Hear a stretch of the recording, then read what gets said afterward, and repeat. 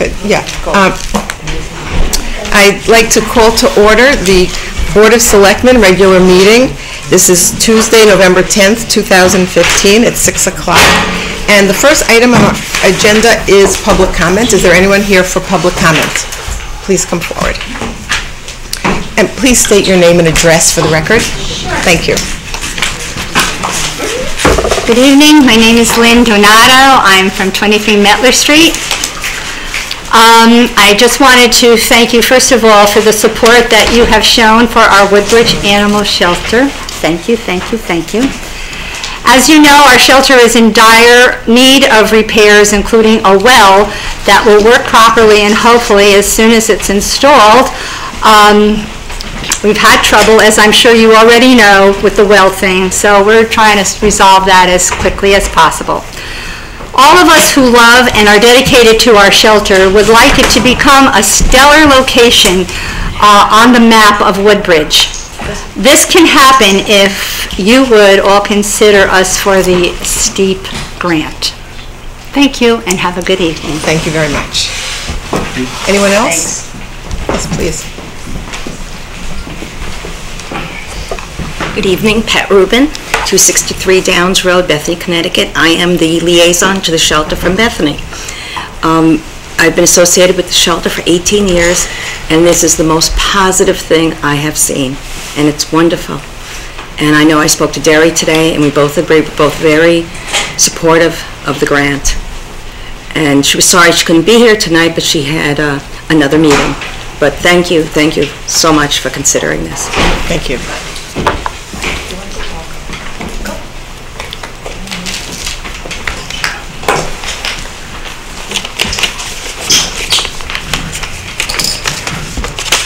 Uh, My name is Barry Collins. I'm from Bethany, and I have had a long-term interest in the shelter ever since the early 1990s, when DACWO, the District Animal Shelter Organization, was formed. Four of us, I was one of the four.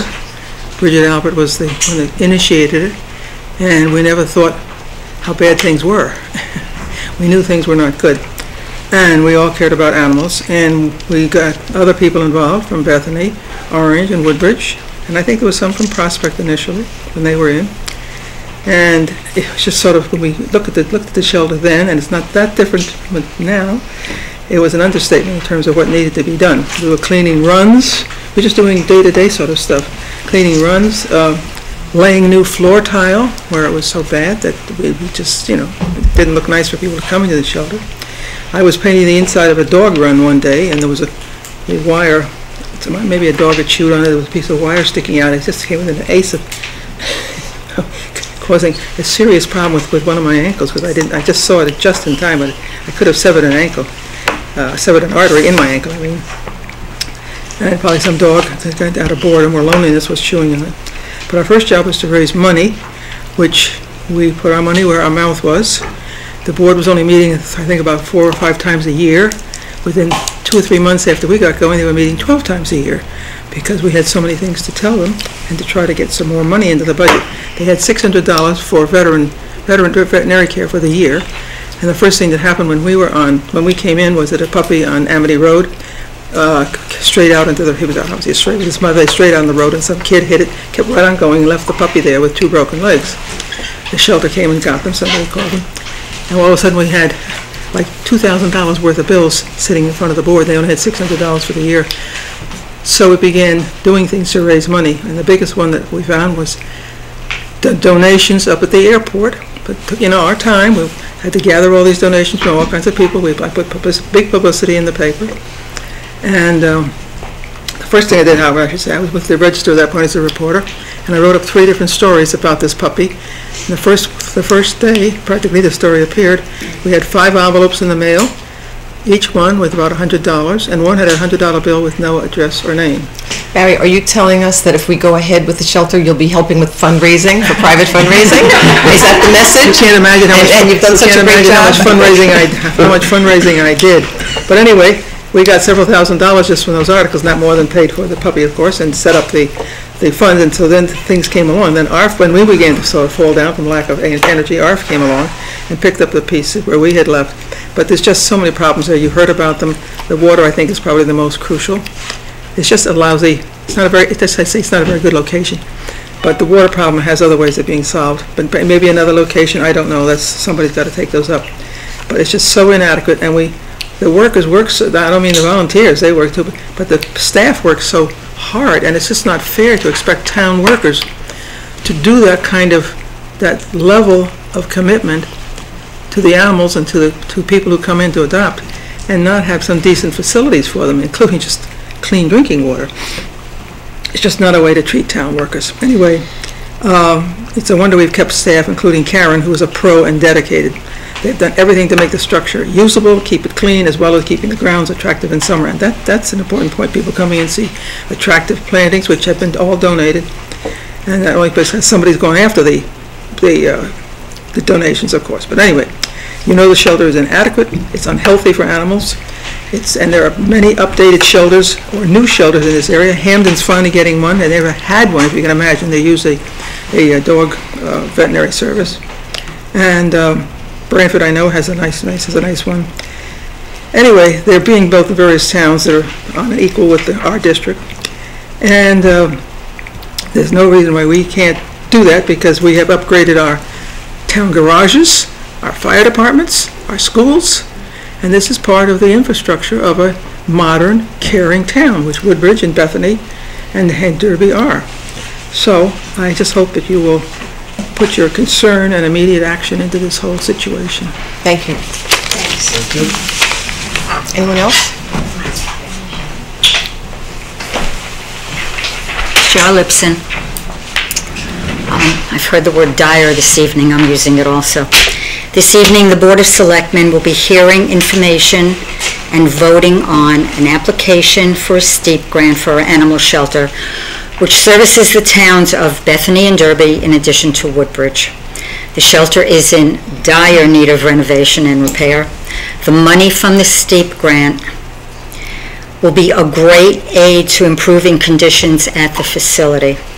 I am hoping the Board of Selectmen will unanimously um, agree to give the people, as well as the animals in the communities that this facility services, a shelter they can be proud of. I thank you in advance for voting to make this happen.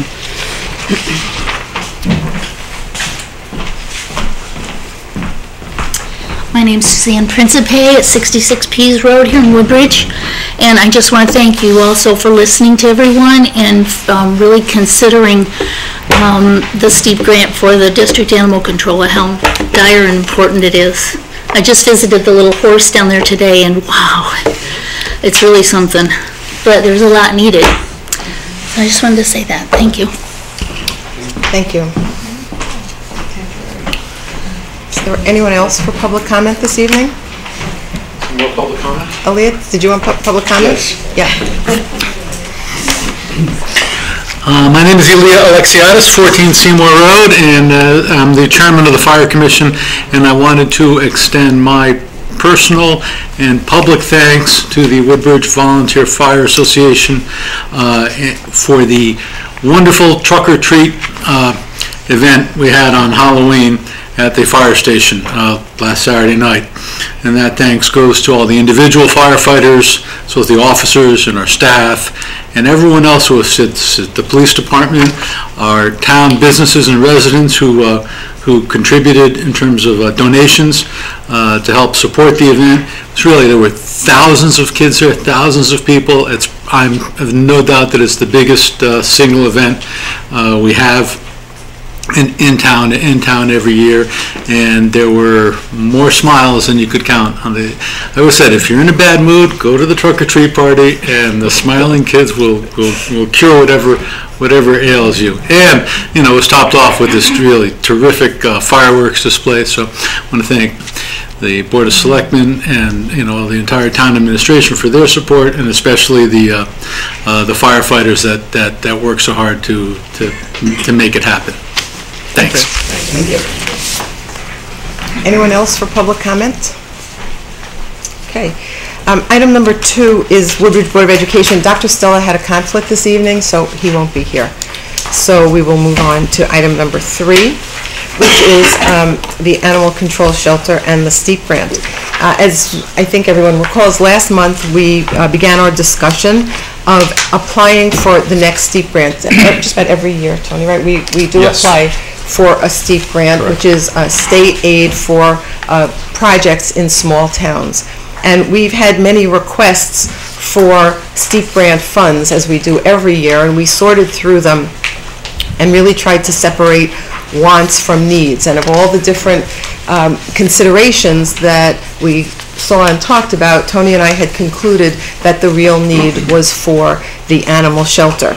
And when we talked about it last month, there was a request for additional information and um, also for looking into other towns, the possibility of what it would cost to go to other towns. At this time, Tony has some additional information that he can provide, and um, I understand that there is no longer, people are not looking to look into other towns, if that's correct. Tony will present his information, and if everyone is satisfied this evening with that, then we can go ahead and take a vote on proceeding with, uh, applying for the STEAP grant for the animal control shelter. If there are people on the board who still require additional information, this is the time to ask for it. So Tony, do you want to Sure. bring us up to date? Um, uh, Certainly, we um, have had a, um, uh, there was several ways to approach this, and um, in order to um, uh, be able to get this on this agenda for your consideration as um, the sooner we uh, can get this information together to apply, the better off we are, as we are able to um, apply for the grant, which is typically, at least the last few years, has been on a rolling basis. I mean, there's a deadline for, a for a submission, but the quicker we get it in, um, it seems to be the better off we are. Um, So, we had a local professional help us with a, um, just a, a narrative and an estimate based on a, um, a cursory review of the facility and some research on the um, various needs at the facility. It's by no means a complete study or a, um, something that um, uh, is something that we would, um, you know, we didn't have a complete drawings or anything of that nature, but it just gives you a flavor for the types of things that would need to be looked at in this facility. As you can see, um, the total estimate at the bottom is a little over $500,000. That does not include hookup for the water, so that brings it up to a little under $700,000. But again, this is just a cursory review, and um, we would tailor it to uh, the available funds that we have. So um, in in terms of prioritizing the most important items for renovation. Uh, To get a more uh, complete review and budget for the facility would of course take longer and would cost some money. Um, We would do that at some point anyway, assuming we went forward with the STEAP grant and were awarded the STEAP grant as part of that process and would be funded by the STEAP grant. But, um, so th- that's what we have so far for your review. And Tony, I- just to confirm that we do go ahead and apply for STEAP grants with this kind of information. Correct. We've done that in the past, and then And we... pretty much every so- single one that we've had. Okay. When we, So, so if we get a STEAP grant approved for half a million dollars, Right. correct. it'll be, you have to use the money specifically for this project. It can't be used for any other That's project, correct. And do we have to use it? Do you have to use the STEAP Yeah, grant? can, can we not accept it? If they approve it, do we, can we we just waive it it back? Can we waive it back to them, or? I don't know, I I suppose, I don't think you- that you're forced to take. you're not forced to if pay to use it, but I would imagine if you did that, then the next time we applied for a STEAP grant on another project. Okay, That- and that's fair enough. The reason I asked the question, so if we get a five hundred thousand dollar STEAP grant, right? Mhm. And this project is over seven hundred, That's just, seven hundred thousand dollars? it's not necessary that we have to do all these items. Right. Okay, so when do we determine when we're, what we're gonna do?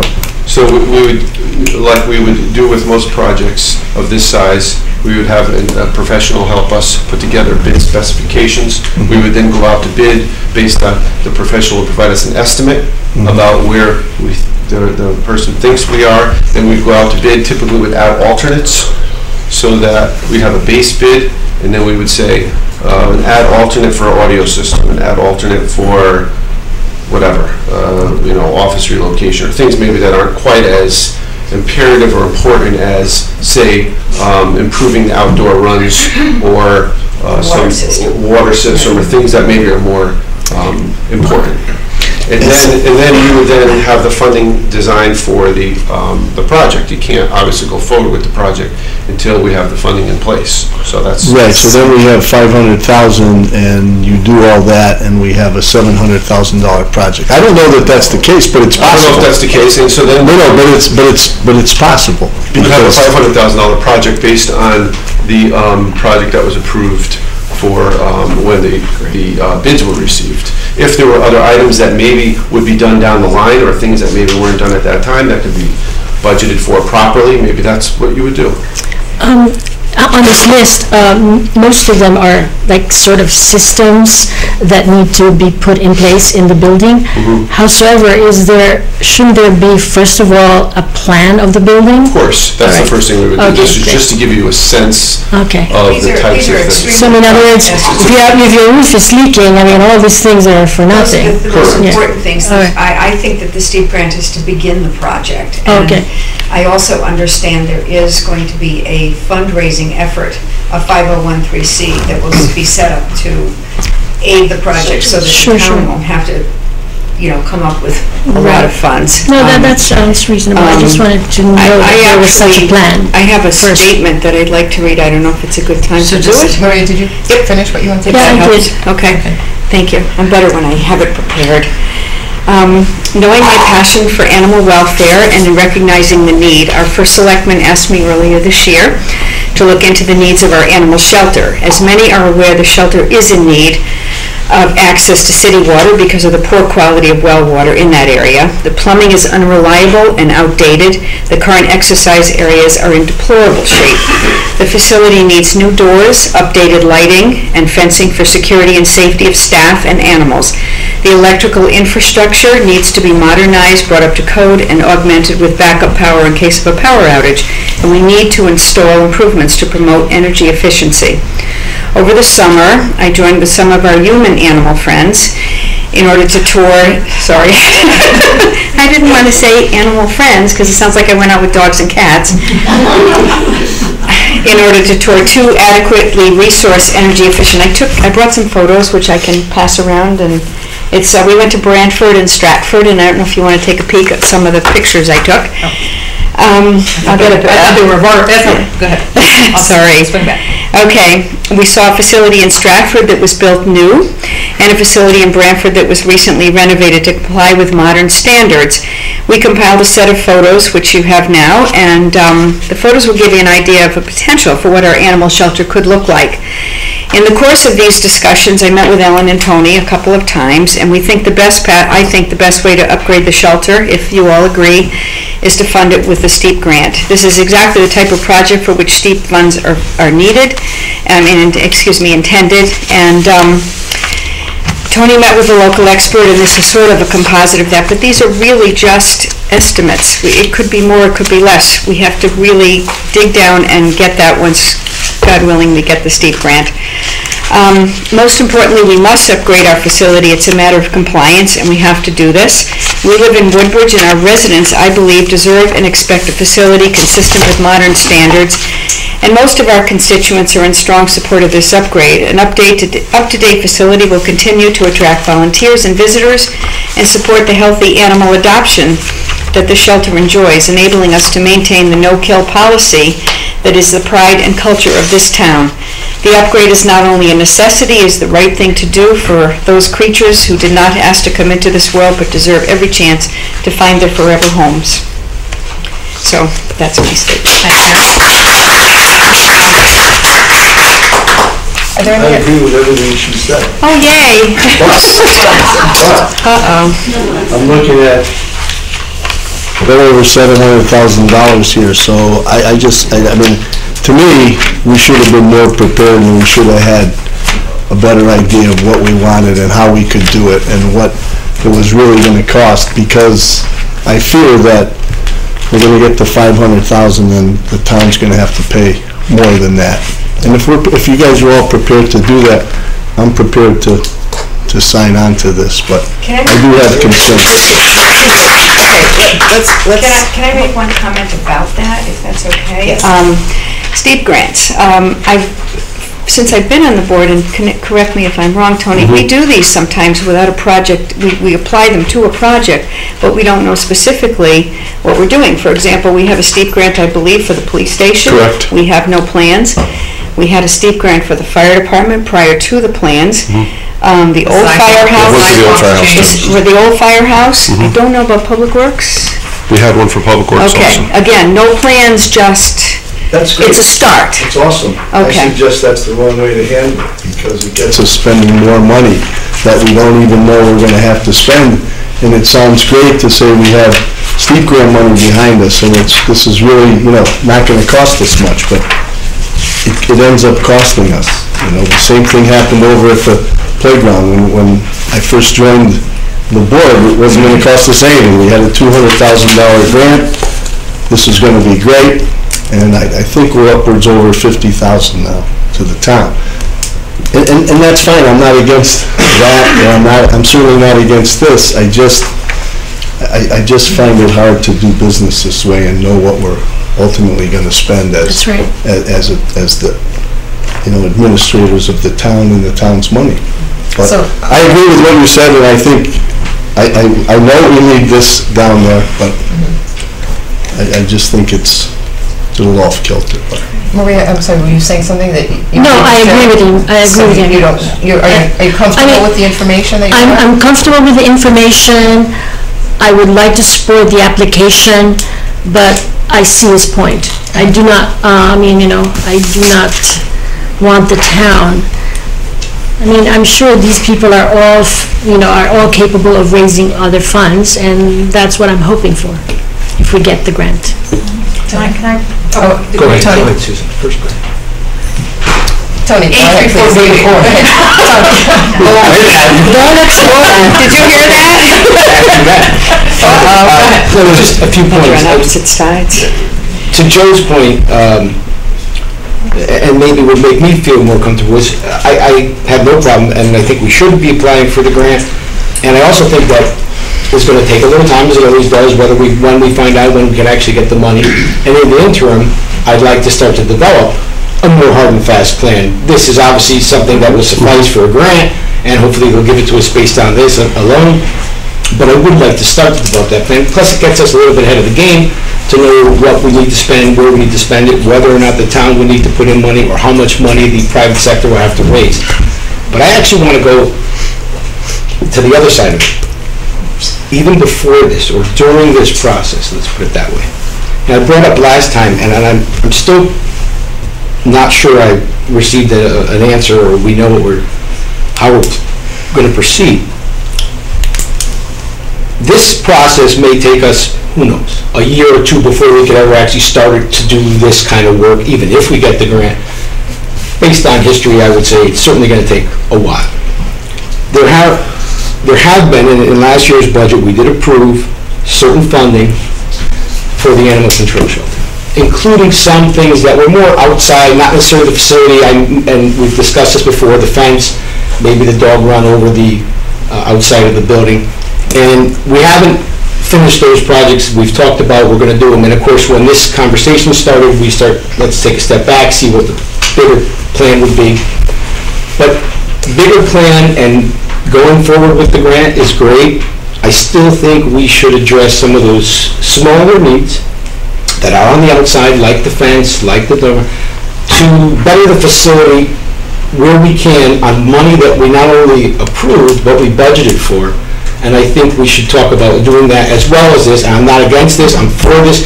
I'm just saying, I think we should keep that in mind and spend a little of the money that was approved by the town, by us, to get those things done in the interim. And hopefully this plan will go and we'll build a great facility and So we have worked with the, um, with the staff there, and we actually have some fencing that we replaced. Yeah, I'd like to, if you don't mind, Susan, I just, I just would like to that's- respond to yeah. that last point first. What we don't want to do is waste the money that would be, that we could be putting towards this project. So if there are some things, and I know Tony spoke with Karen to Yep. really sort through those things, we don't want to spend the money just because we put it in the budget. If in fact, we're going to be tearing it up within the next six months or Well, a I'm- year. I'm not- Excuse me, Tony, let me just finish. Okay. So, um, I don't know the answer, but I know that Karen and Um, Tony have talked about We it. have, and we're working closely together to make sure that we strike a balance between what the structure needs and, um, so. Yeah, strike, striking the balance is great, and, and to your point, Ellen, I, if, uh, if I by any means imply that I'm looking to waste money, let me rephrase what I said.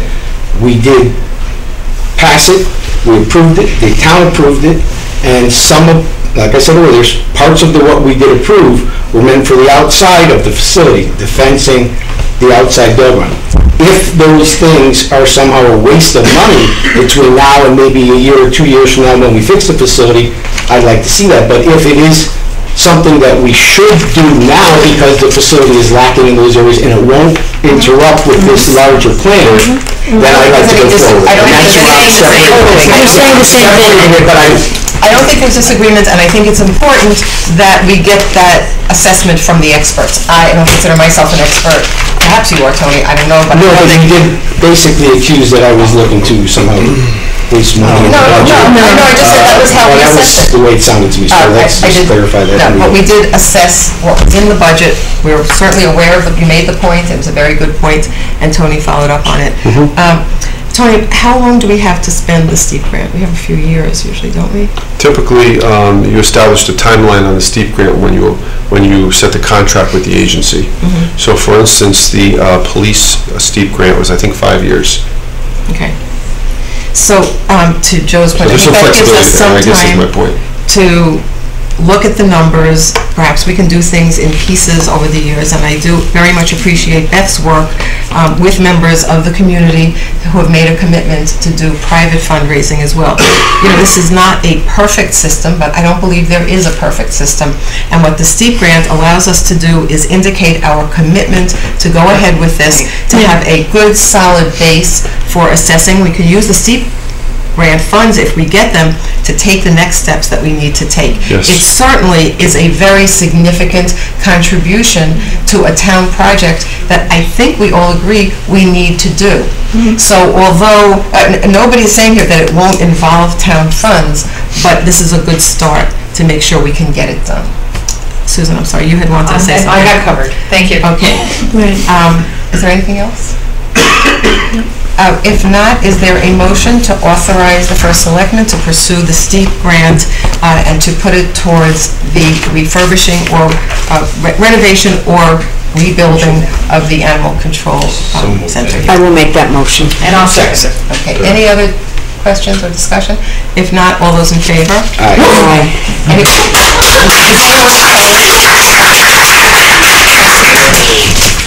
Uh, We're now at item number four, and uh, Chief, Fire Chief Sean Rowland is here to talk about the funding to repair engine nine.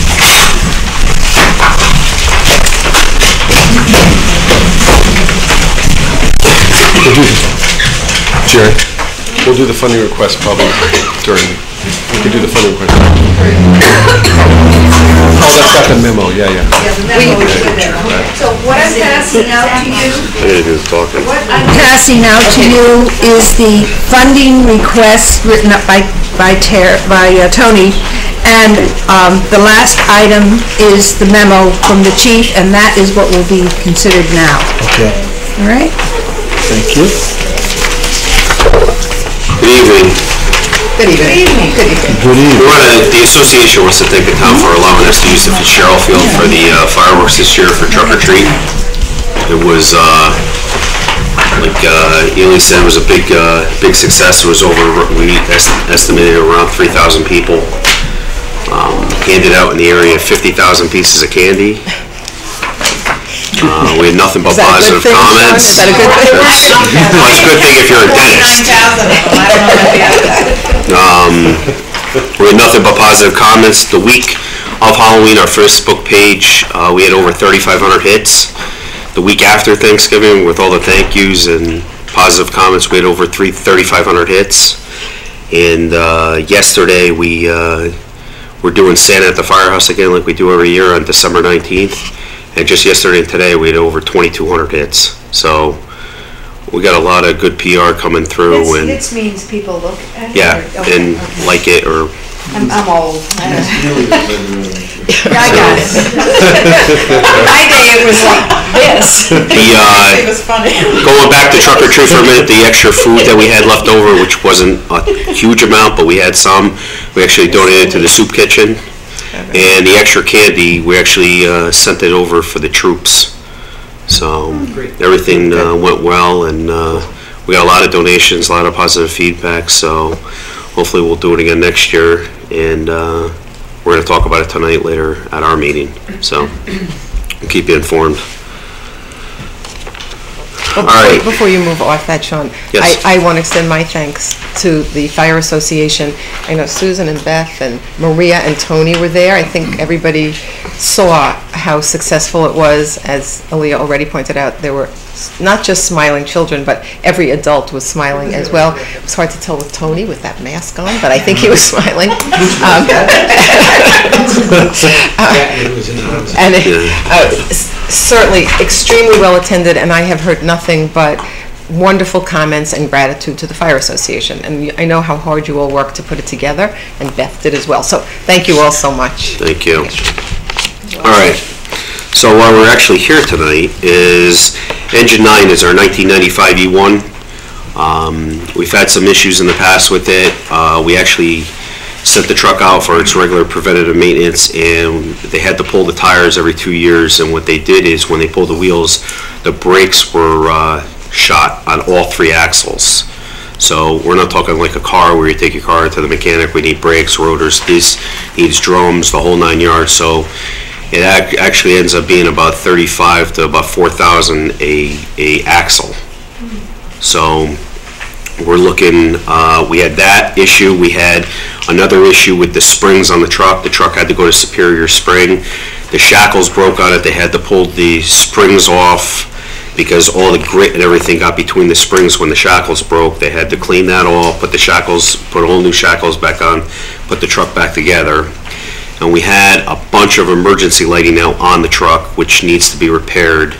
Um, God help us if the truck got into an accident or somebody hit the truck and we didn't have all the emergency lighting working, the town would be responsible and liable for that. So we're in the process of getting all that fixed um, now. And what's also nice about it is we can't go with the original lighting that was on the truck back in 1995, which were strobes. They're becoming obsolete and we can't get parts and the light heads that are on it won't fit. Um, the new lights, uh, the new strobes won't fit onto there, so we're gonna change it over to LED, which is actually gonna save, um, the truck a little, for another few years, because we're taking a- quite a bit of load off of the truck on the engine and everything with the LED lights, knowing that they draw almost nothing compared to drawing a lot, so we're gonna, we're gonna save on that end. I mean, that, that's a considerable number right now, we're looking at over eleven thousand dollars to change those lights, and that doesn't include everything and I'm gonna find money in our operating budget, which we have to replace the scene lighting on, which is all halogen, which we have an issue with the generator on the truck. So if I had to replace the generator, I'd be coming and asking you for roughly another thirty thousand plus dollars to replace the generator on the truck.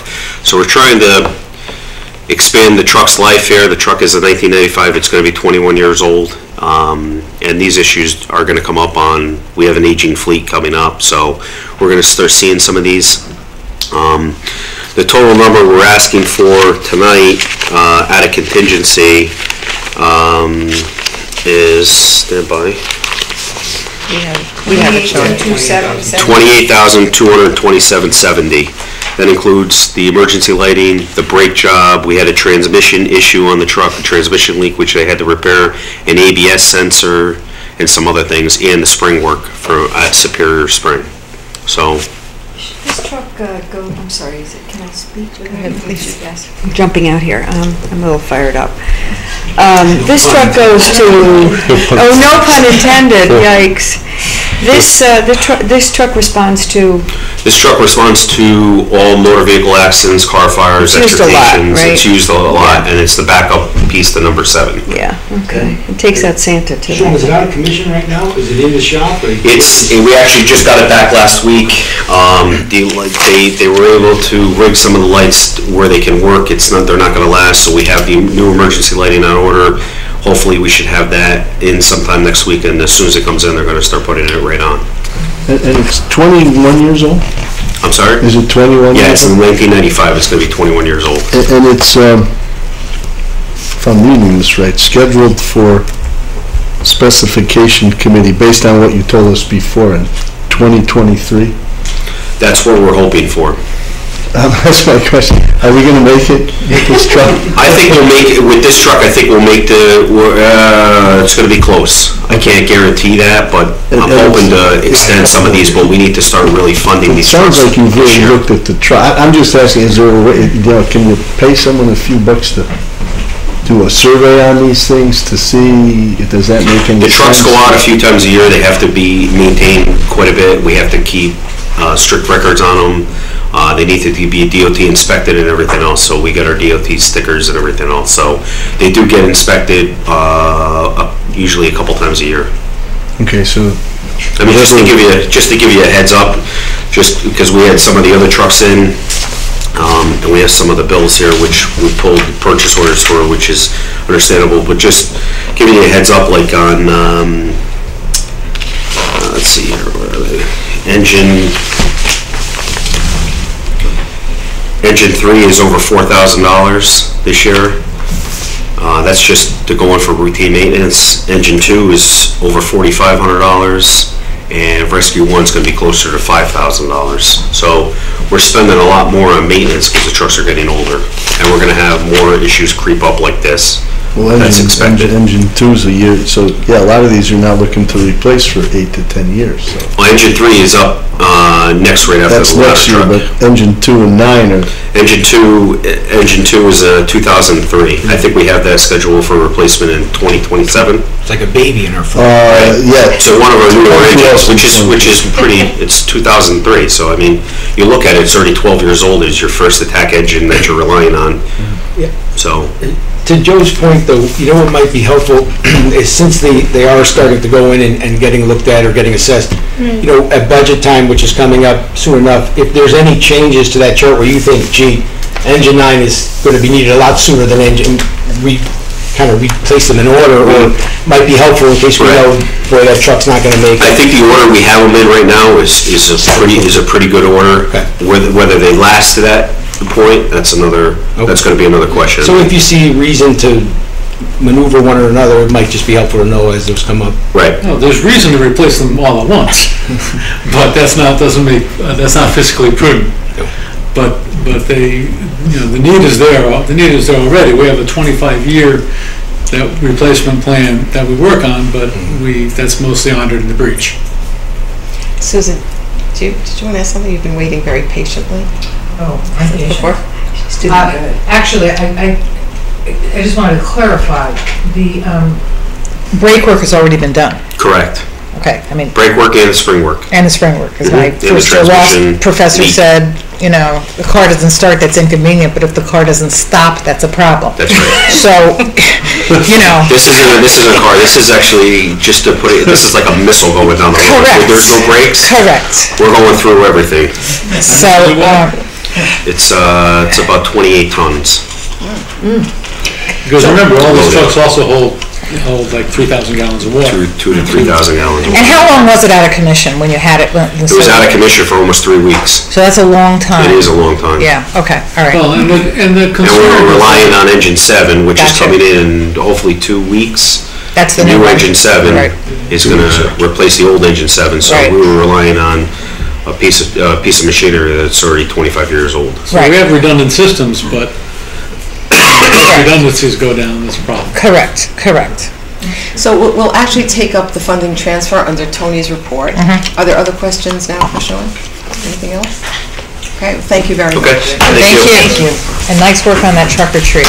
Thanks. I don't know who Glinda, the Good Witch of the North was, but her costume was fabulous. She was great. What? Who was the one with the umbrella? It was amazing. The costumes were great. Yeah, the costumes were amazing. Um, We're at item five, which is the issue of the Landon Street common, and Deputy Chief Stewart is here. And um, did you want to come up with Chris Dickerson? I don't... Okay, so uh, you're going to talk about your proposal, and um, if we take it up tonight, it will be under funding request later in Tony's report. I don't, have we gotten any documentation? Just a funding request for the uh, engineering.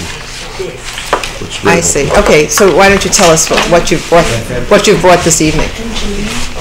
Okay. Do they have a copy? Well, why don't you, why don't you just tell tell us, what- tell us what, what you... Right. Just before I start, I just- you know, I want to commend the fire department also. I says, you know, I, I- we work very closely with them uh, in the preparation of the event and everything, and and everything went off very smoothly, and everything, no complaints. Uh, Sean actually solicited one of my officers and had him passing out candy most of the night too, so.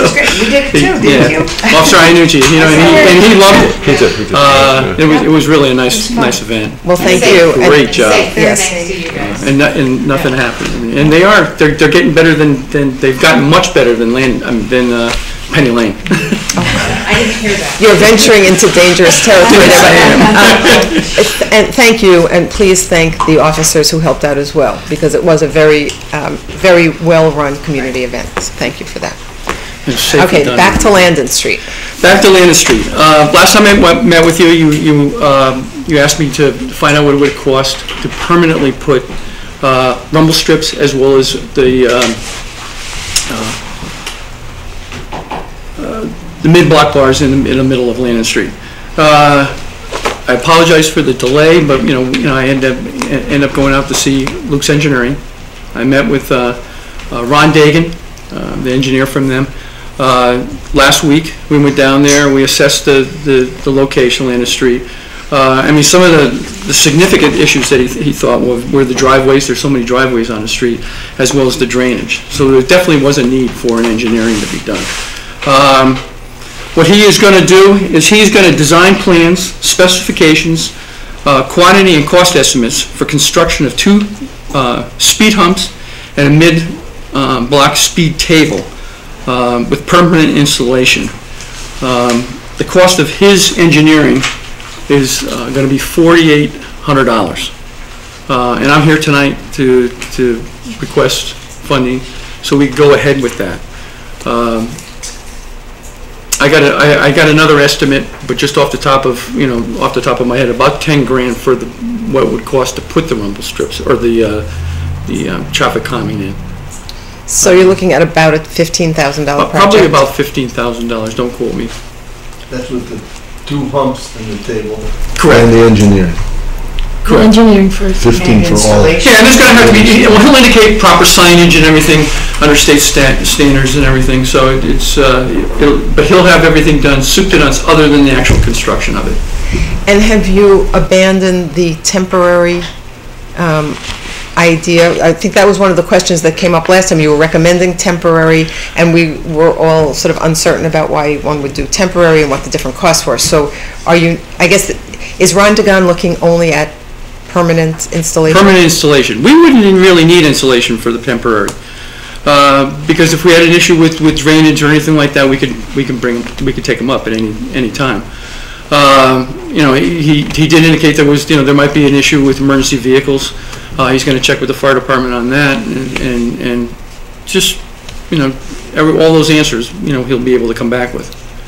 When we spoke with uh, the Director of Public Works, he was much more in favor of permanent structures rather than the temporary structures. He was not as confident that temporary structures would last or be as easily plowable than the permanent ones.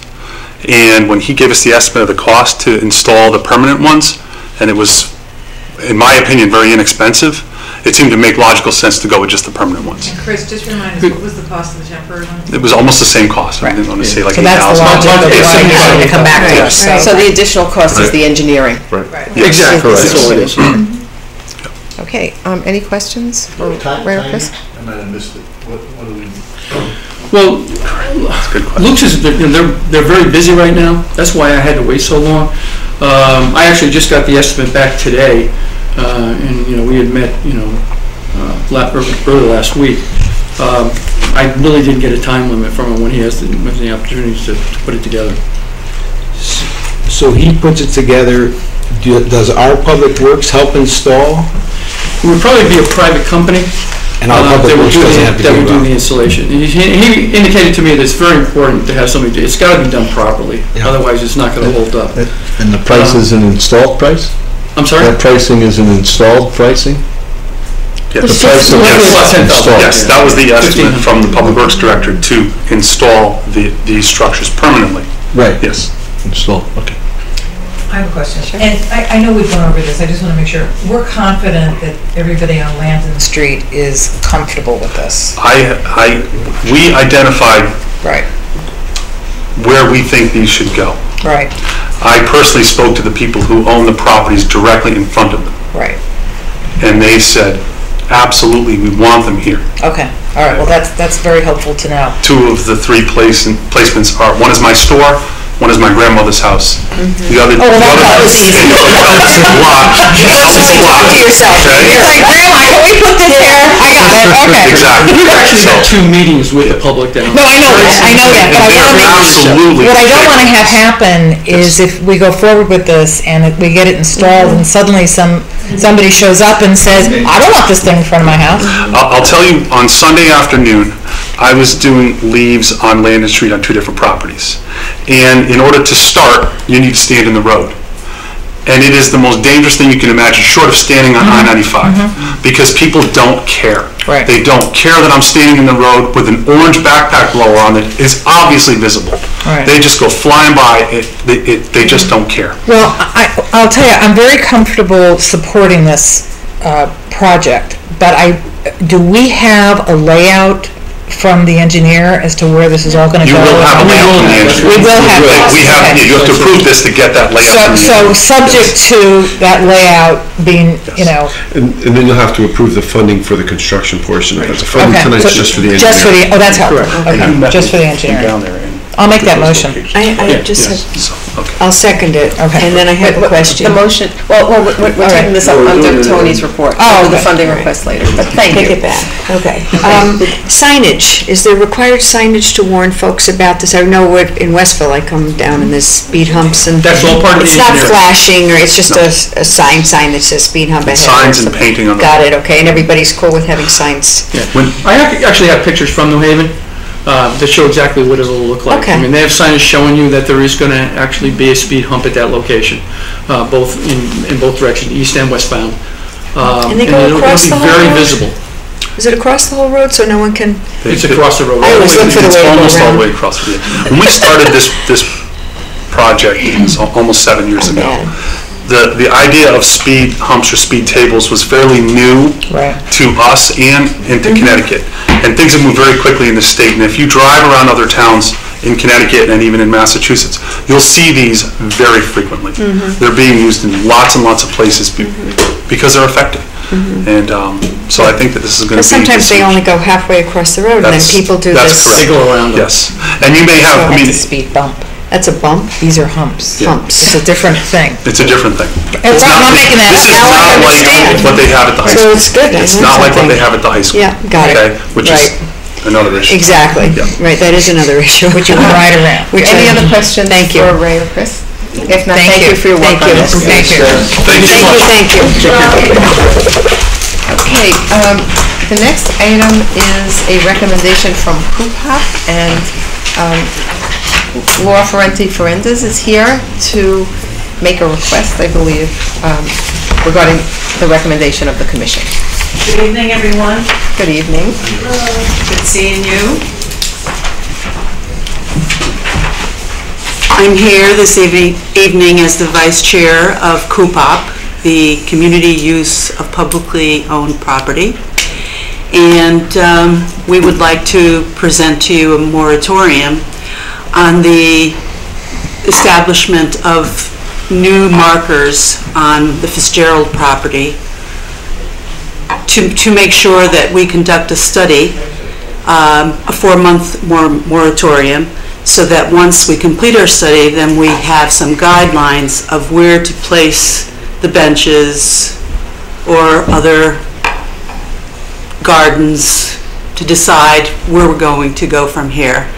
The um, plans that we have in place haven't been updated in a long time, and so I think it's very important for us to look at them, to study them, to hear from the public, from uh, our residents, and then to make a decision on what's best for the property and, and for our residents. So, um, benches? Benches. No, no. Gar- uh, Gardens. When you say gardens, do you mean expanding? Expanding the gardens, But if it's- clearing the lands. If it's a, um, an existing garden that someone has given up or that is under use, would the moratorium apply to that? Or just expanding beyond Expanding the- further, expanding but not- further. Not anything that has been a garden before? Right, everything that's been a garden, we'll let it stand. Right, but no- moving forward, if they want to expand the garden space, we need to de- decide if we have to- uh, enough gardens, or if it's going to be uh, a meadow, or if it's going to be habitat, you know, for uh, wildlife, or whatever, uh, you know, the commission makes the recommendation to the Board of Selectmen, and then, Mm-hmm. you know, we can proceed from there. And I think with four, four months um, gets us a little bit into the gardening season, but Right. not too much. So No, you're thinking great. by March, you'd be Right. back with Well, that's something? really around the time that people start doing, working in their gardens. Mhm. Yeah. Okay. So four months is enough. Four months, I think, is enough. Yeah. Because we're, we're moving quickly. We're, we're putting together a application, which we didn't have prior to this. Uh, We're putting together the guidelines, um, what the specifications should be in order for uh, people to understand what's involved in being a a gardener at the Woodbridge Community Garden. And so they understand no pesticides and, again, we're exploring, you know, the fences, you know, how high do the fences, should that fences should be? Should there be some kind of uniformity? Um, So these are all the questions and issues that we're determining at this point in time. I think Sounds that's very, good. excuse me, um, I think that's appropriate, um, given the, the charge that we gave you and asked you to look at. Right. And um, I think working also with the, the ad hoc committee that's looking at best Right. organic practices, I know you've been in contact. Yes, we've been So I in think that's- contact, they've been sending us uh, information, and so it's, it- it's a good connection. Good. Yes. Um, Are there questions or comments for Laura? And Susan's on our, uh, as our liaison, and so It's, it- it's certainly, I, it's a robust conversation needs to take Right. place, and actually, I think they really talked through the moratorium idea very effectively, and I, I, I'm prepared to support it. Because I know we've had requ, we've had bench requests, and we also had a request for a sign, which I think, um, you know, I hope you'll be considering, which is about driving slowly once you enter onto Absolutely. the property. That- So that I is- think- That's one of the issues. Mm-hmm. And perhaps even designating where the car, cars can go and who mm-hmm. can go by the community garden and the speed limit that mm-hmm. they should travel at. Because I've been there and cars have like gone. Yes. Speeding by me and you, you said, "Well, wait a minute, how fast are they going? And the dust comes, you know, right by you. So, um, yeah, it's very important for safety, for, so that everyone in, in the community can enjoy the gardens. We might have a few extra speed bumps we can give. Them. Oh, we- you know, For that, I mean, you never know, right? Bumps or bumps? Whatever, talk to Chris. I just learned about This is an important thing. It is, it is, it's, it's very important, yes. I'm glad I you guys are looking at this, it's wonderful, thank you. Thank you. Thanks for Thank taking you. I have one question, Laura. So I, I know Coopop in the past hasn't handled this, um, but maybe you know by now, because you've probably been in contact or will be in contact with the people who have been handling our community garden requests. And I'm just wondering, during this moratorium, when typically do those requests come in for new gardens? I'm assuming it's sometime during the I winter or early in the year? I believe some have come in already, so. So they- they'll be informed if They'll this be moratorium informed, passes? yes, that if, those moving decisions will be forward, made? moving forward, if it's a- a- an existing garden, that's okay. But if it's a new piece of, new plot, then we're gonna say, let's hold off for four months to, to make a decision on if that's something that we're going to move forward with. And there are a lot of unused existing plots right now. Mm. It's unlikely anyone would get shut out if they wanted to Right. start a garden. Joe, did you? Well, I think that, that, that's one, that's one of my questions, I'm not clear. So if there's an existing garden plot, that Someone didn't really work last year or whatever, they still have that plot, right? Probably. I So, mean- so we're not telling them they can't garden their plot, right? No, correct. No, 'cause it's I- existing. It's, Right, I, I think. well, I didn't know exactly what existing meant, So, that's what, you know. I think that's a good point, and I think we should be clear about it in looking at the motion, that, um, I'm, I'm going to try to word the motion and see if this captures it, because I think it's an important point, that we um, approve the recommendation of CUPAP that there be a four-month moratorium on the Fitzgerald property with respect to new benches, new signs, you said markers, I assume that's Yes. signs, and um, clearing of lands. Right. The latter does not include any eh, part of the Fitzgerald property which is currently um, being gardened or that has been gardened in the past, even if it's going to a new gardener. Right. I know that wasn't very eloquent, Yes. but I think it's the I- I concept. think I understand it, I'm wondering why we need the moratorium, because I don't think anybody can do any of that unless they get approval in the first Well- instance, so There has been some clearing of the further, more lands. without, it- without approval? Right. And so- I, I don't think that's correct, Laura. No? No, I don't think so. There hasn't, been- there hasn't Okay. been anything. um, I have no problem with the moratorium, I just, I think we have a built-in moratorium, because Well, I- nobody can do any of that. I think to, can I take a stab at this? So, uh, that's correct, and Coopop knows that any bench, for instance, needs to be approved here.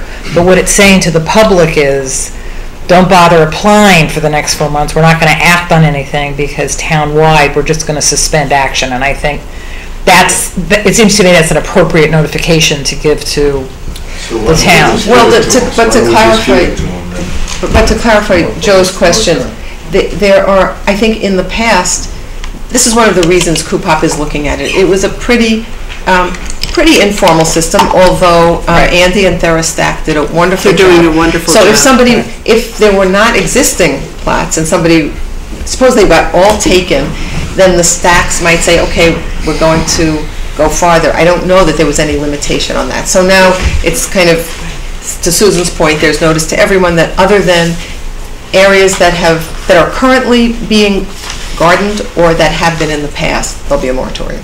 Is that, I think, I think that's. I just wanted to add, I don't know if this is appropriate, should we put a date in the four months? Yes, So that. I was gonna suggest that. A friendly That's a very amendment to good your, idea. uh, your, uh, and also, could we, once we decide this and motion this, somehow get it up on the website for folks that are perhaps searching for, I don't know if that's something we can do, Betsy, what do you think?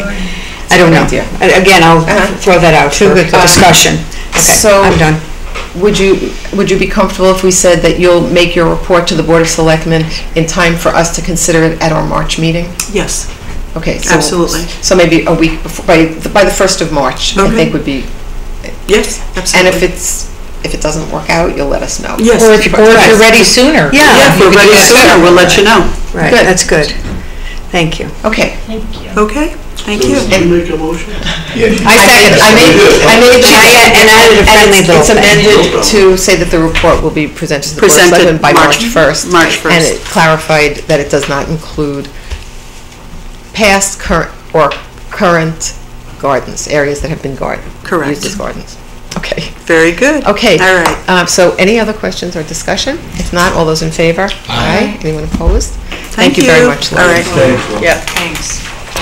Okay, item number seven is the ordinance committee report. We thought that we would be reporting this evening on a proposed amendment to our gun ordinance. We had an ordinance committee meeting just before this meeting, and some um, new points were brought up to us that we would like to consider, so that we will not be making a recommendation this evening. And next, we have the report of our administrative officer and director Okay, of finance, thank Tony you. Genovese. Thank you. Um, I have a report through October of this year, and uh, the report is a uh, budgetary surplus of about $80,000. The um, projected fund balance at the end of the year is uh, $4.37 million, or 7.4% of our annual uh, projected expenditures. No, I'm sorry, 9.46. I got nervous. yeah. Oh, I got real scared. I got scared too. We got. I said seven. I said, yikes. Uh, So a couple of highlights Uh, We have a uh, s- a surplus in um, intergovernmental revenue of about $52,000. We've discussed this previously, the uh, FEMA award is about shy, a little shy of $70,000, so that's um, part of that surplus. Uh, The Woodbridge uh, reduction in municipal aid was $16,000, and um, that's largely targeted on, um, the reduction aid came to pilot grants, was the major focus of those reductions. So those towns that have um, larger pilot grants got hit a lot harder than we did.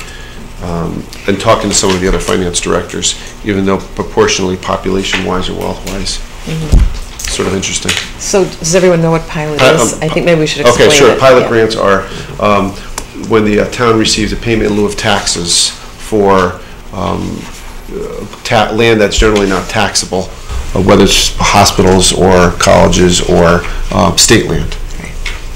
So, we don't we don't have much proportionally to other towns, so we didn't get um, cut as uh, much as some other towns did. Uh, In expenditures, we have a $12,000 savings in debt service because of our refinancing that we did, refunding we did in June. That increases to over $100,000 next year for our budget, so that's good news. And um, there's a uh, surplus in parks of about $10,000 because the, uh, the time it took to get a full, full-time position on board. So those are our major items for the year. Any questions for far. Tony? Okay, then we'll go to funding requests. Um, And the first one is the, um, the repairs to engine number nine that Sean described to us. Does everybody have the papers for that? Yes. Um, Jerry passed those out already. So uh, I will, I will uh, move that we approve funding request number 151605 in the amount of 28,000, is that the same number that he had in the memo? 727. Yeah. Twenty-eight thousand, two hundred. Yep. Two two The memo's seven. attached, Okay. yeah, 227. Actually, his Okay. funding request was 28,228. Twenty-eight thousand, two hundred. Round it up. Got it, okay. Twenty-eight thousand, two hundred and What's thirty twenty-eight cents? dollars. Um, Is there a second? Second. Second. Any additional questions or comments on this? If not, all those in favor? Aye. Anyone opposed? Thank you. And the second will- will be for the engineering study for Correct. Landon Street, and I think we're just passing out the information now. While that's being passed around, do you mind if I ask a question? I I know Dr. Stella wasn't here, but actually on his budget, or on school's budget, I noticed a couple of numbers that really stuck out. and I was just wondering if you have, are aware at all on the report. Um, A couple of them are 1,500% over budget, because there obviously something came up that wasn't expected. One was $50,000 instead of three, and uh, in a few of those different I could certainly bring those up, up. to- categories, I'm just wondering, t- in the In total, I could tell you that the, they're having a, um, an issue this year with special education. Right. And so, um, while I don't know any- any of the details, I do know that they are having an issue with that this year, and that they um, anticipate needing funding for that. So are we, uh, the last time he reported, he felt they had trimmed it down, maybe they were about 200,000 off. It's about two, f- it was a little over 250, 252, that neighborhood.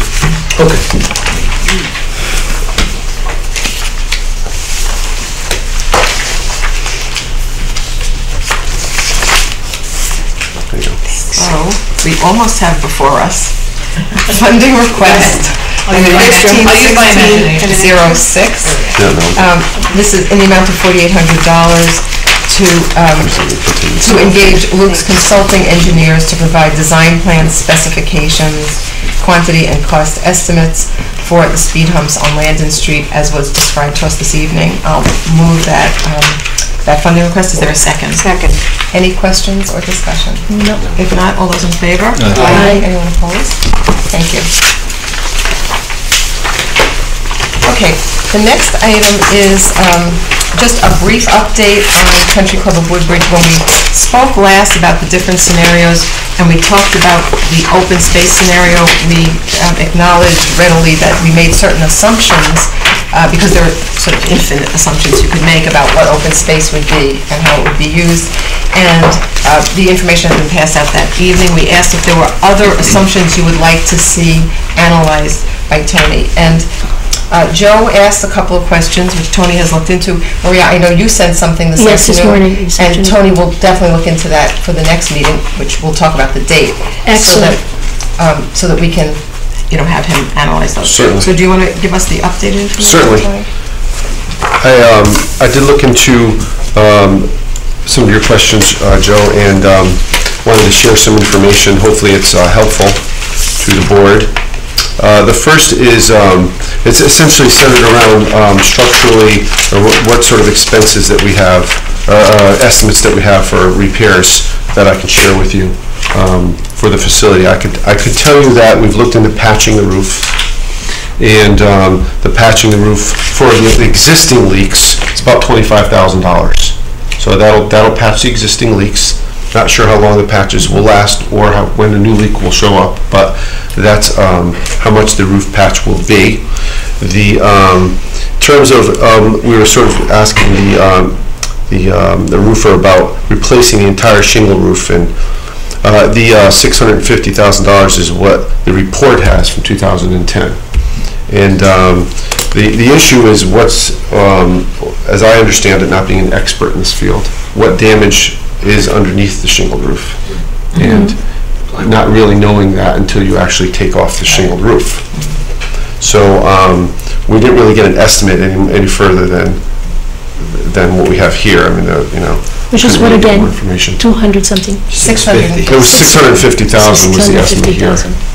And again, I, I don't know if that, how close that even is based on what the dam, you know, if there, if there is any, I mean, you know, you just don't know. Dollars are five years old. Right, this is from 2011.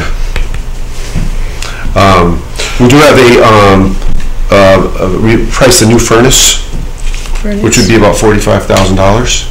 Um, We could continue to repair the existing furnace, depending on what the issue is.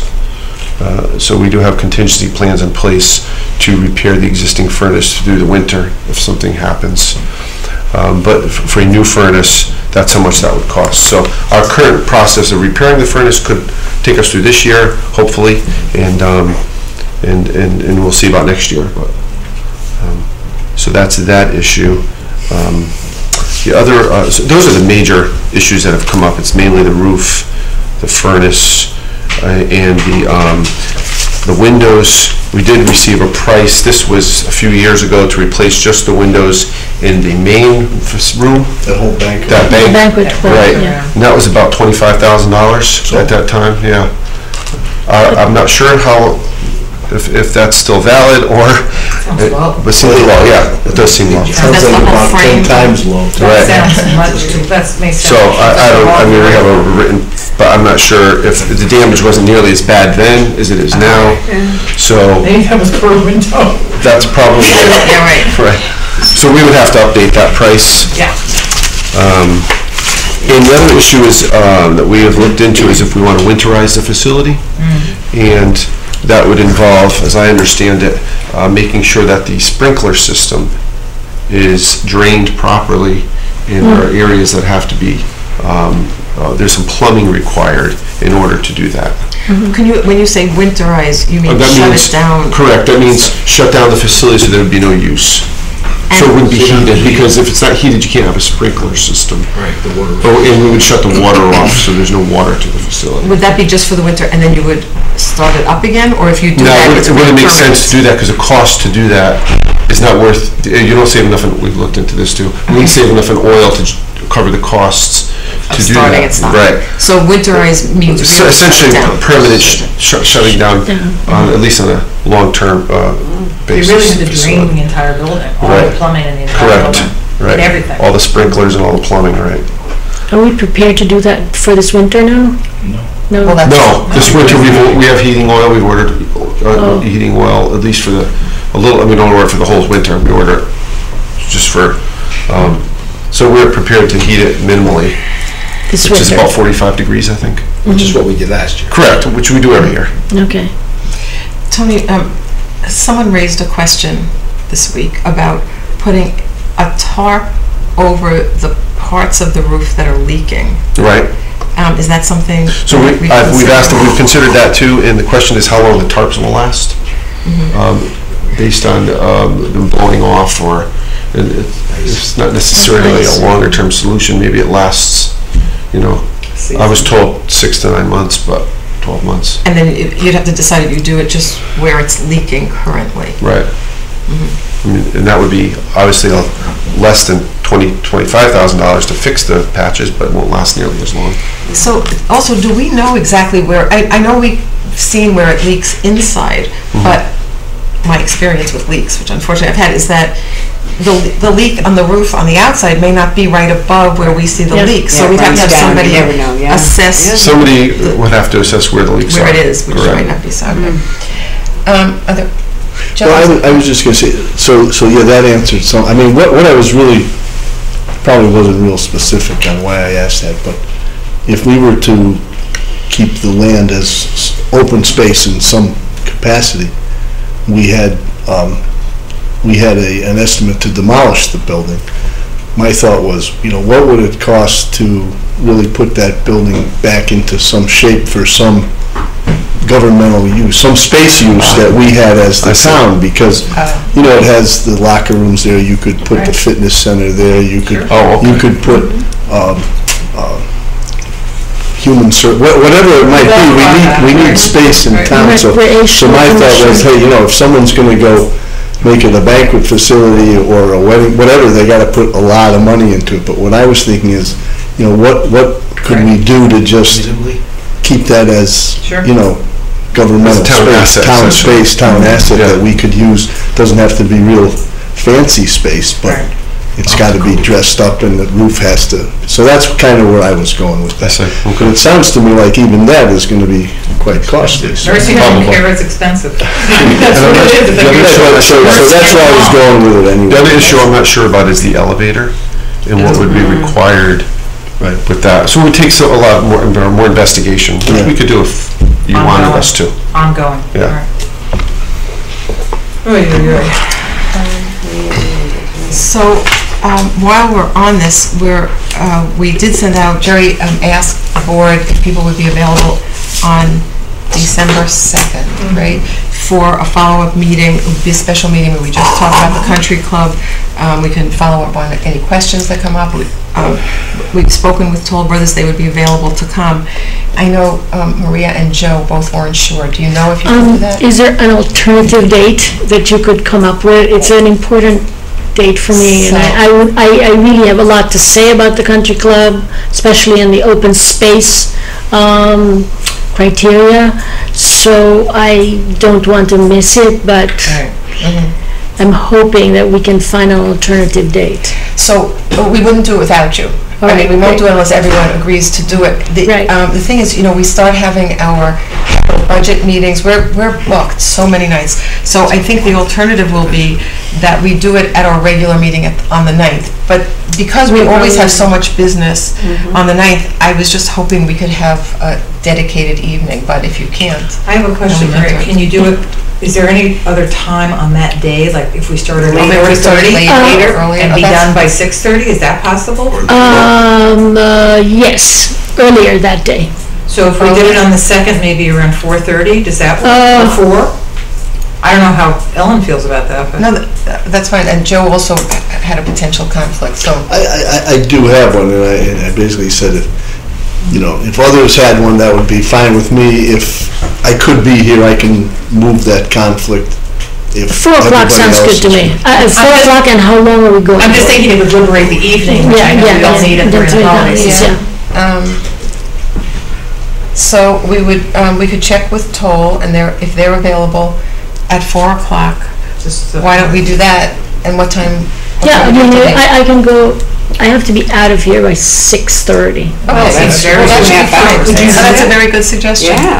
Okay. All right. So we'll plan for that, um, from 4 to 6:30 on the That 2nd. works. Yeah, Well, you that all- was- yeah. Yeah. Good. And I reserve the right to have to tell you a little something different. I Oh, don't, you can't?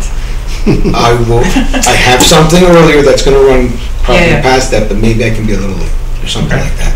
How about that? I'll, I'll let you know, but maybe I I'll don't have really think something. this is gonna, that's two I and a mean, half I hours. can Two tell you. hours, what if we did 4:30? Yeah, I, I will let you know exactly when I get in front of that. Okay, that's I fine. need to be. So- And if I need to be a little late, that's at least better than Just let, let Jerry know, and we'll, Yes. we'll try to come up with something. I'm that- not putting it in here yet. Okay. Great. Four great. o'clock sounds Uh, good. Tony, thank you. Okay. Can I, I'm sorry, one last thing about that. Are we expecting that night to basically discuss the Toll Brother options or all, the whole project as as a possibility, or I think we, as much as we can cover, we should cover. So So at we'll the last meeting, there was a request to have Toll come to answer questions. And actually, if there's anything else that you would specific, I know Maria has some things that we just got, we're gonna take a look at that. I encourage you, please, to let Tony know as soon as possible, anything else, so that he can check numbers, find numbers, if it's possible to do that. um, Correct. So that we can move forward. so Toll will be part of the, Yes. It's not yes, just but we about don't- We don't have to, no, not at all, because we'll, we'll talk about the open space Hoping they can options come and- earlier, because originally they were okay for six, so we hope. Yep, so we'll the check four with them. o'clock time. okay. Right. Yeah. Um, okay, good. So the next item is item number nine, which is to authorize the first selectman to sign the microgrid agreement with United Illuminating. This is the agreement we've been talking about for quite a while, to go ahead with the microgrid project. Our um, attorney, Paul Michaud, who's been working on this, lot, has approved this contract. And um, is there a motion to authorize the first selectman to sign? So moved. Second. Thank you. Any questions or discussion? on I. Maria? I have, I, I don't know everything about it, but what I know about it, um, I have many questions, and I know it's been approved by the board, and it's been approved by, you know, it's, we're trying to push it forward. I think I'm going to abstain if there is a vote. I'm sorry. That's reasonable. Yeah. Yeah. Um, Any, any other questions or discussion? If not, all those in favor? Aye. Aye. Anyone opposed? Abstention? To- Uh, Off, can I just, well, off, uh, it- there's, on page two. Page two. Paragraph two, BI, just fix that typo. Typo? Yeah, Where are we? three million thousand dollars. All right. What do you mean? Is it 3 million or is it 3,000? Uh, I, it's three million, but it's just, if Oh, it's been approved by council, someone didn't see it, someone, so I'm just saying, just, just, just do Yeah, that. it's, it's the um, deed grant amount that we turn over today.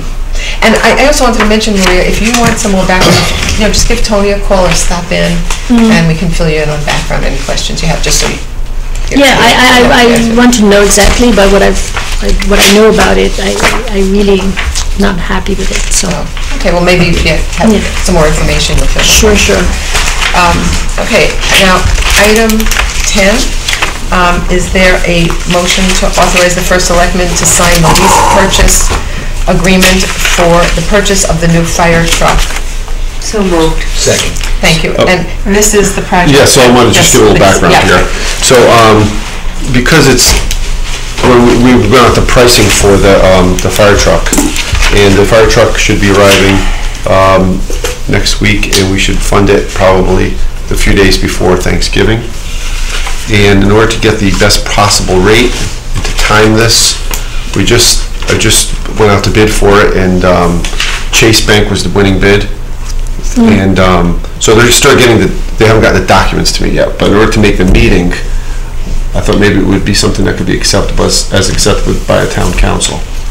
Oh, oh, I see, so you want the motion to be that the first selectman is authorized to sign the agreement, provided it is approved by. Correct, Town council. correct, provided they're, because I don't, I didn't have time to get the documents, because the rate just came in, Yeah. they're working on the documents, but the meeting, Tony, is I that think you wanted a special. a daily rate, or is that a rate that they lock in for? They locked it in, they locked it in for, um, into, until uh, the day before Thanksgiving. So you want the right to be able to save that rate? Correct. Right now going up. Correct, because Okay. rates went, they were going Yeah, up, as you going know, up because of the, Yes. um, the Fed announcement, yeah. Right.